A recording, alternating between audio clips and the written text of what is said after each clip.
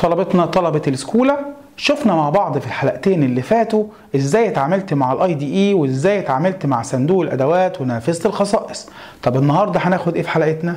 إزاي هغير الخصائص وإزاي أتعامل مع نافذة ال window code؟ شوفوا معايا الحلقة وبعد كده نسمع تعليقاتكم.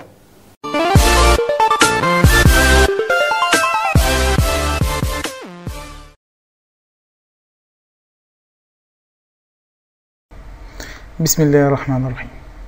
الدرس الثالث. هنكمل فيه مع بعض الأدوات والكود. الحاجة اللي إحنا لازم نعرفها. إن كل أداة أو كائن object ليه default name اسم افتراضي. والاسم الافتراضي لكل أداة بيبقى اسم الأداة زائد رقم. مثال.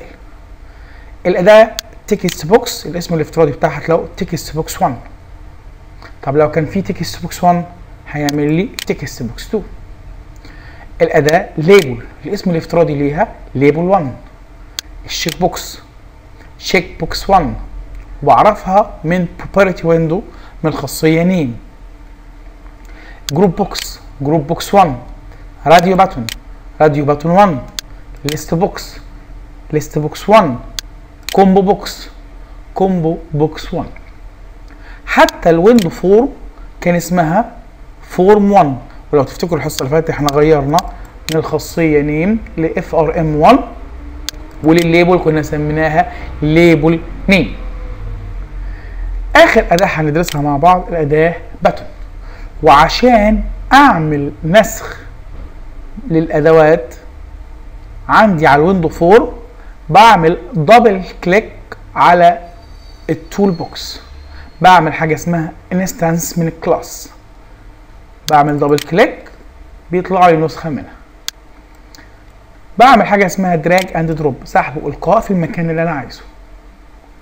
ال button دي أداة تستخدم لتنفيذ ما بها من أوامر كاستجابة لضغط مشغل برنامج. والمرة اللي فاتت مثلا لما كنت بغير من الخاصية name هسميها ان execute ما حصلوش حاجة. نفتكر الحصة اللي فاتت إحنا اتكلمنا عن الخاصية text، text دي الخاصية اللي بتسمح بإظهار نص للمستخدم أو النص الظاهر للمستخدم. هسميها مثلا text color هتلاقوا اللفظ اللي أنا عايزه.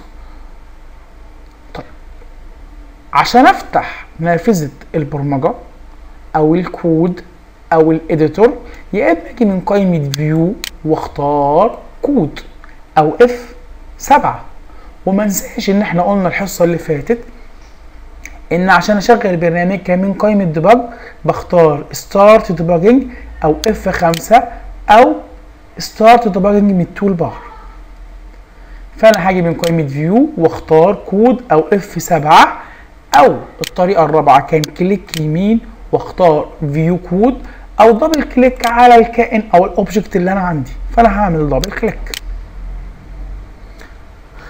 المنظر اللي قدامي ده أنا هخفي ال solution explorer و property window دلوقتي عشان نشوف الكود كامل.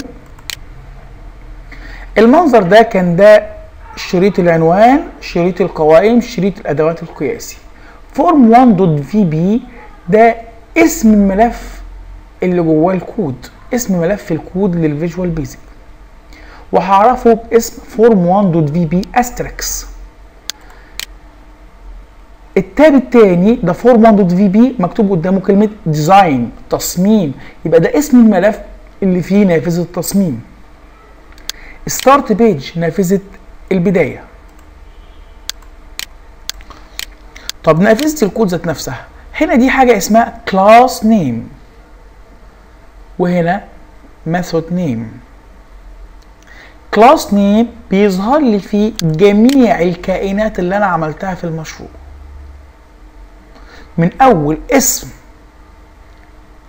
النموذج ال class بتاعي لكل ال objects اللي موجودة عندي. بختار كل tool أو control أو object من دول.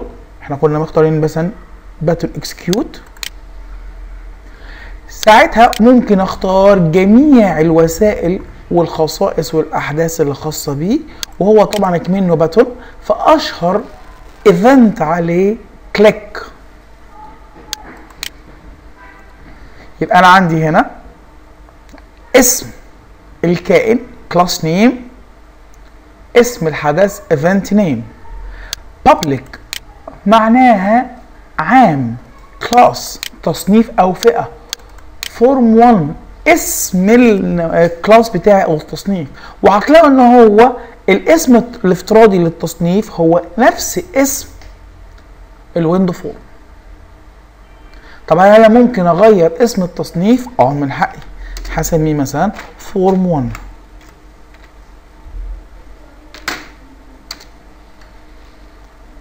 ساعتها هتلاقوا ان form 1 اتغيرت معاه.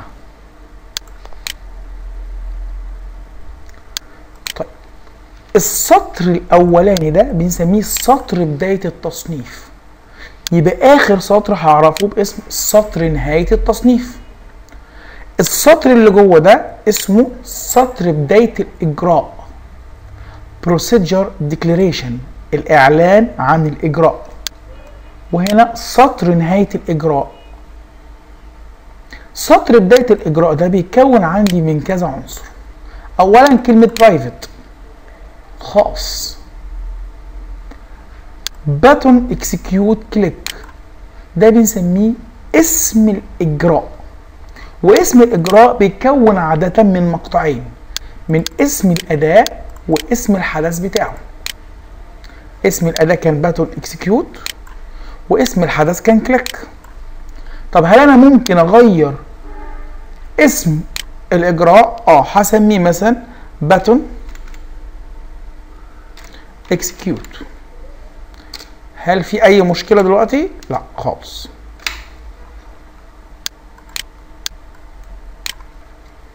طيب اللي بين اقواس ده ده هنشوفه في منهجنا في الترم الثاني اللي هو ال parameter بتاعه. طيب بعدها في اسم الكائن حقيقي dot اسم الحدث. ودول ما ينفعش أغيرهم لأن هنا بيقول لي الحدث click هيشتغل على أنهي أداة. طب في النص هنا بنسميه سطر الأوامر. وكنا بنكتب في السطر الأوامر اللي خدناه في الترم اللي فات سطر واحد اللي استخدمناه. control name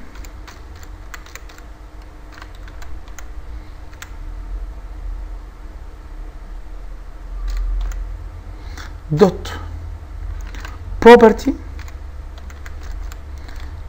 هيساوي value طبعا هو هيديني رسالة خطأ لأن مفيش حاجة اسمها كده. طيب مثال. لو أنا كنت مثلا عايز أغير لون الخلفية للأداة birth date واخلي لون الخلفية بتاعها أزرق. هل هكتب birth date لا طبعا. اسم الأداة ساعتها بتاعي عشان نفتكره كده. كان من property window كان اسم الأداة label 1 يبقى هروح أقول له label 1 dot لون الخلفية كنا إحنا خدنا خاصية back color طب القيمة اللي أنا كنت عايزها كنت هقول له color dot هقول له مثلا أزرق blue. label ناقصة حرف ال أنا آسف كاتب غلط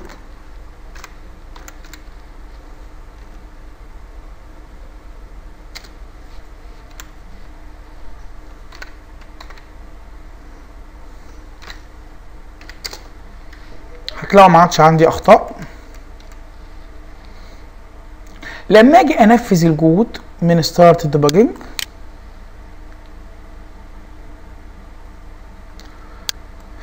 هنشوف الكود بتاعي. label 1 dot back color بيساوي color blue الله دي الخلفية ما اتغيرتش. آه أصل مش هتتغير إلا لما أعمل execute لل command عندي تنفيذ الأوامر. والأوامر دي مش هتتنفذ إلا لما أعمل click عشان انفذ الأمر. هنختار لون كده خفيف شوية.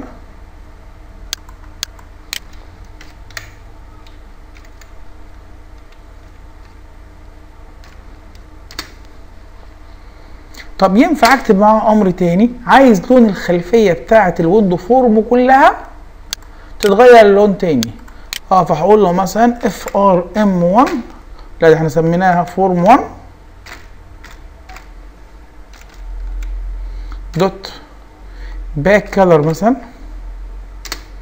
بيساوي color هنختار له لون مثلا.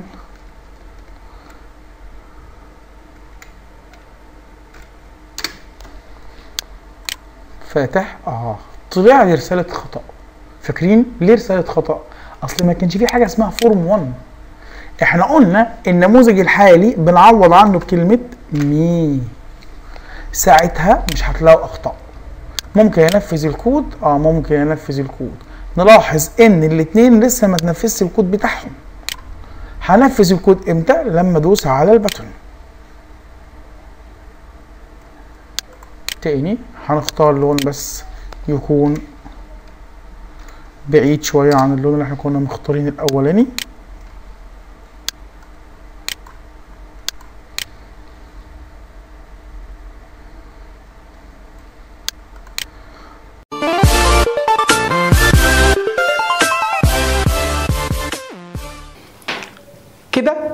خلصنا مع بعض مراجعة الترم اللي فات أخدنا إزاي نتعامل مع ال IDE إزاي اتعاملنا مع نافذة الكود ونافذة صندوق الأدوات وآخر حاجة شفناها مع بعض إزاي اتعاملنا مع نافذة الكود.